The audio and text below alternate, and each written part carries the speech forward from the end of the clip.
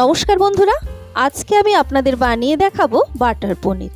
আর এই বাটার পনিরের স্বাদ হবে একেবারে রেস্টুরেন্টের মতো, অথচ বাড়িতে খুব সহজেই কিন্তু সেটা বানিয়ে নেওয়া যায়। তো চলুন তাহলে কথা না বাড়িয়ে ভিডিওটা শুরু করি।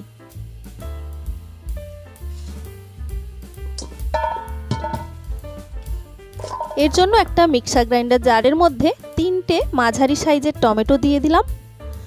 একটা ছোট্ট আদার টুকরো খোসা ছাড়িয়ে দিয়ে দিলাম। আদার পরিমাণ খুব বেশি দেওয়ার এখানে দরকার নেই।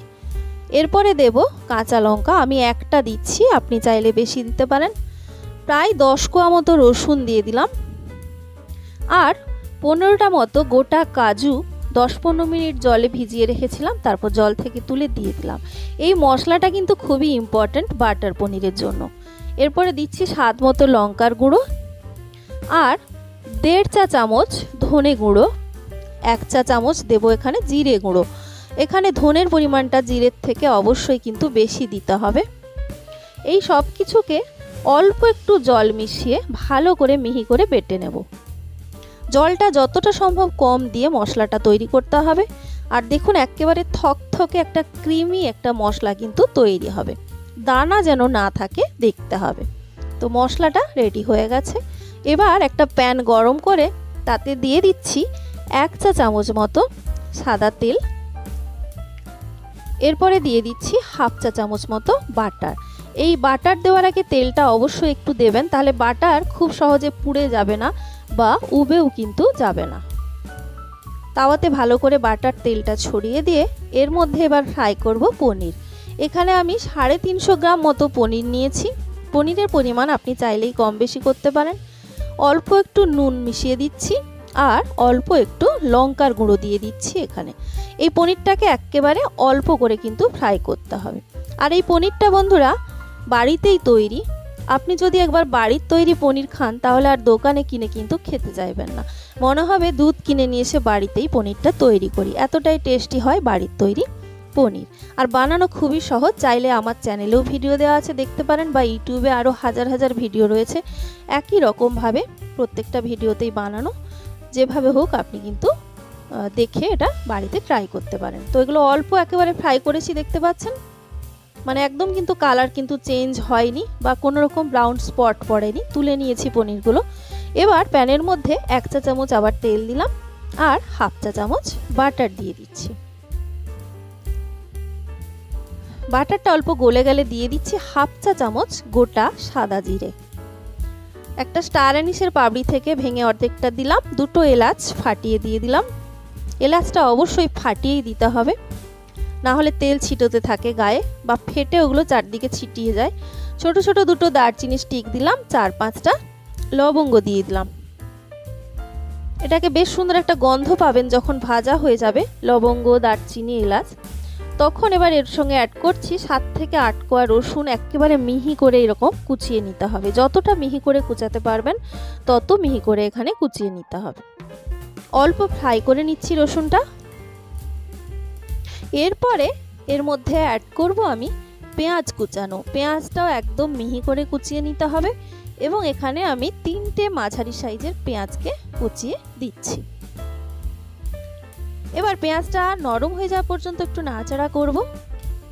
অল্প নাড়াচাড়া করে যদি আপনি এর মধ্যে রেসিপির দরকার মতো নুনটা দিয়ে দেন, তাহলে পেঁয়াজ কিন্তু খুব তাড়াতাড়ি নরম হয়ে যায়। তো দরকার মতো আমি নুন এখানে দিয়ে দিচ্ছি। আমি প্রায় এক চা চামচের থেকে একটু বেশি নুন এখানে দিলাম। এবার এটা একদম ভালো করে নরম হয়ে যাওয়া পর্যন্ত ফ্রাই করব।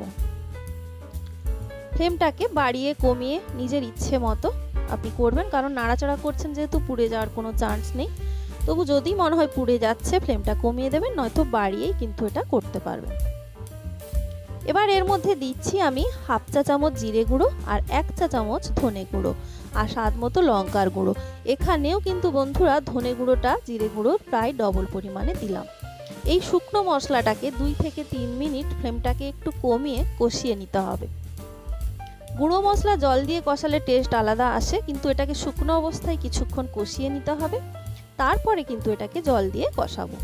শুকনো অবস্থায় কিছুক্ষণ কষানো হয়ে যাওয়ার পর, এর মধ্যে আমি বাটা মশলা, ধোয়া জল থেকে অল্প একটু জল দিয়ে দিচ্ছি এবং মশলাটাকে কষিয়ে নেব যতক্ষণ না মশলা থেকে ভালো করে তেল ছেড়ে বেরোচ্ছে। খেয়াল করবেন, পেঁয়াজ রসুনটা যেন একদম নরম হয়ে যায়। তো দেখতে পাচ্ছেন তেল ছেড়ে বেশ ভালো রকম বেরোতে শুরু করেছে।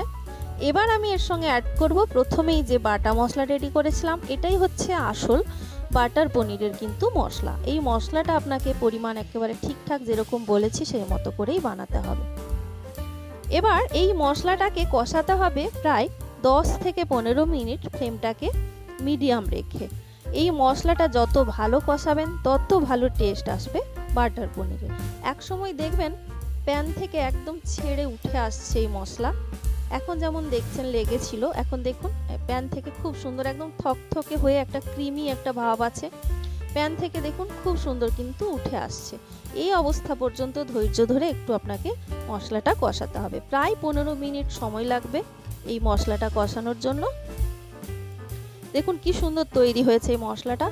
এবার আমি এর মধ্যে আগে থেকে গরম করে রাখা প্রায় তিনশো এমএল মতো জল দিয়ে দিচ্ছি। জলের পরিমাণটা আপনি গ্রেভিটা যেরকম পছন্দ করবেন, সেই মতো একটু কম বেশি করতেই পারেন, কিন্তু খুব বেশি পাতলা যেন না হয়ে যায়, সেটা অবশ্যই আপনাকে দেখতে হবে। মশলাটা একটু নাড়াচাড়া করে মিশিয়ে দিলাম ভালো করে।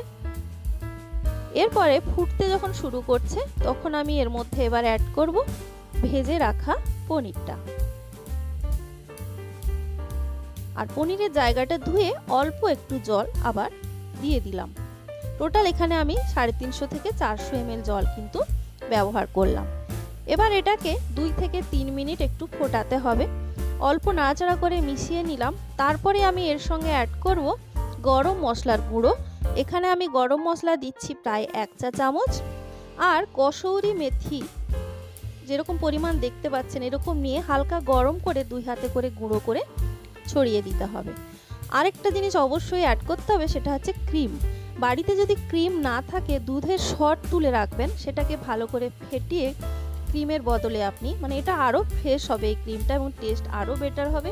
অবশ্যই এটাকে দুই থেকে তিন টেবিল চামচ অ্যাড করে দেবেন। তারপরে এটাকে ভালো করে মিশিয়ে নিতে হবে। মোট দুই থেকে তিন মিনিট সময় ফোটালেই হবে। দু তিন মিনিট হয়ে গেলে এর সঙ্গে যেটা অ্যাড করব, সেটা হচ্ছে চিনি। চিনির পরিমাণটা আপনি আপনার স্বাদ মতো কম বেশি করবেন। আমি এখানে প্রায় এক টেবিল চামচ চিনি কিন্তু দিচ্ছি। একটু মিষ্টি ভাব এলে কিন্তু খেতে ভালো লাগে। তো এবারে আবার একটু ভালো করে নাড়াচাড়া করে নেব আর দরকার মতো যদি নুন লাগে এই সময় দিয়ে দেবেন। দেখুন কি সুন্দর দেখতে হয়েছে রেসিপিটা। এবারে এটাকে ঢাকা দিয়ে রাখব গ্যাস বন্ধ করে প্রায় পাঁচ থেকে ছ মিনিট। মিনিট পাঁচেক পর ঢাকা খুলে এবার গরম গরম এটা আপনি সার্ভ করুন। যে কোনো রেসিপির সঙ্গে রুটি, পরোটা, নান, লুচি, যেটা খুশির সঙ্গে সার্ভ করুন।